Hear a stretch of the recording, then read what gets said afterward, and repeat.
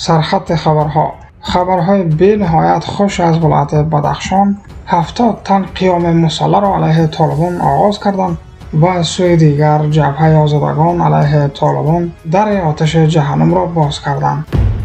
مرگبارترین حمله جبهه مقاومت ملی در ولایت پنشیر علیه طالبان.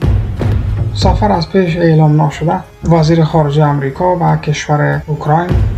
شاهکاری زنان هزاره در ولایت غزنی در ولسوالی جاغوری همه را به حیرت انداخت.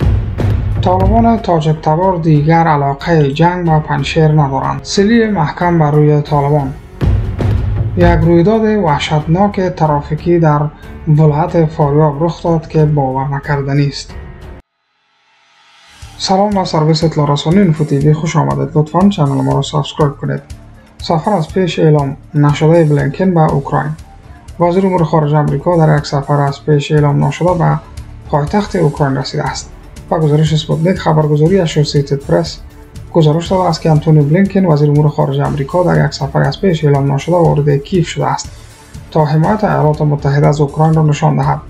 این همه در حالی هست که امریکا کمک بسته‌ی 645 میلیون دلار را تازه و این کشور تایید کرده است. تا اوکراین بتواند علیه روسیه از خود دفاع کند. خبر بعدی کمک نقدی زنان جاغوری ساکن در خارج کشور برای ساخت بند آبگردان در این ولسوالی. منابع محلی در غزنی می‌گویند که شماری از زنان ساکن در خارج از افغانستان برای ساخت یک بند کوچک آبگردان در ولسوالی جاغوری این ولایت پول نقد کمک کردند منابع محلی امروز گفتند که شماری از بانوان ولسوالی جاغوری ساکن در کشورهای نیوزیلند و استرالیا برای ساخت یک بند آبگردان کوچک در این ولسوالی مبلغ سی هزار دلار امریکایی کمک کردند. با گفته منابع این بند آبگردان در ساحه سنگجوی لومان ولسوالی جاغوری ساخته شده است. چند پیش نیز یک زن از ولسوالی جاغوری پول سفر حج خود را برای ساخت یک پل هزینه کرد.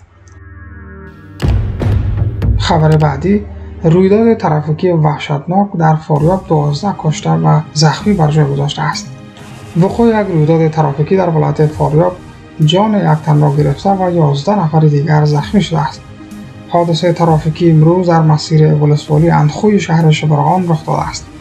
مدیریت ترافیک فاریاب نیز این خبر را تایید کرده می‌گوید که این حادثه دو موتر نو کرولا هنگام سبقت گرفتن از همدیگر برخورد کرده با گفته این اداره هر دو موتر از سرک منحرف و واژگون شده است. این در حالی هست که چند روز پیش نیز وقوع یک رویداد ترافیکی مرگبار در ولسوالی فاریاب جان شش تن را گرفته و ده تن دیگر را زخمی کرده بود.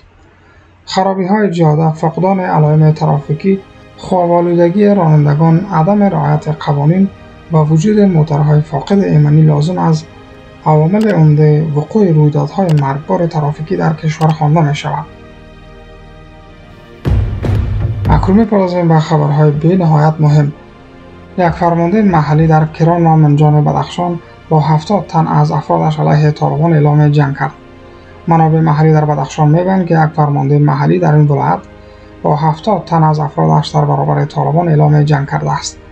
منابع محلی در ولایت بدخشان امروز می‌گویند که این فرمانده محلی شریف نام دارد و با افرادش در کوههای ولسوالی کران و منجان مستقر شده است. با گفته منابع محلی این فرمانده پس از آن در برابر طالبان اعلام جنگ کرد که افراد این گروه پسر و برادرزادهاش را تیرباران کردند ولسوالی کران و منجان بدخشان با ولایتهای نورستان پنشیر و کشور پاکستان هم مرز است. از این نظر کران و منجان اهمیت نظامی زیادی دارد. این در حالی است که ده طالب در نتیجه درگیری با نیروهای جبهه مقاومت در بدخشان کشته شدند. منابع محلی در بدخشان از کشته شدن ده جنگجوی طالب در درگیری با نیروهای جبهه مقاومت ملی در این ولایت خبر می‌دهند. این درگیری امروز در مربوطات ولسوالی شیوه ولایت بدخشان اتفاق افتاده است.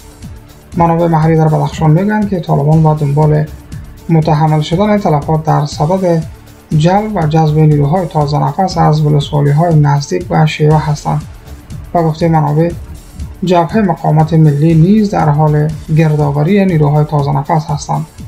طالبان تا هنوز در مورد این درگیری ها چیزی نگفتند.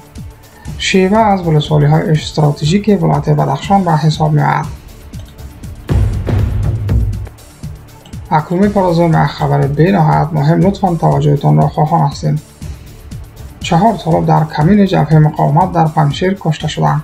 منابع محلی در پنشیر از کشته شدن چهار طالب در کمین نیروهای جبهه مقاومت ملی در این بابت خبر می‌دهند.